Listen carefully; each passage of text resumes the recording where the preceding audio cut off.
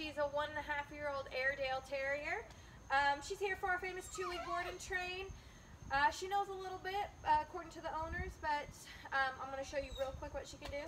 Remi, Remi, come, come,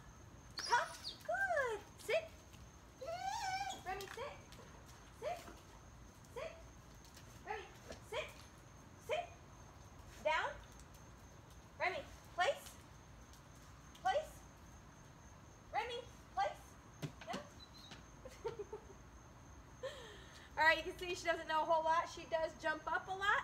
Um, she bites at the leash. She bites at your hands. A lot of puppy stuff. Um, we're going to teach her a few things and stay tuned for what she could do in two weeks.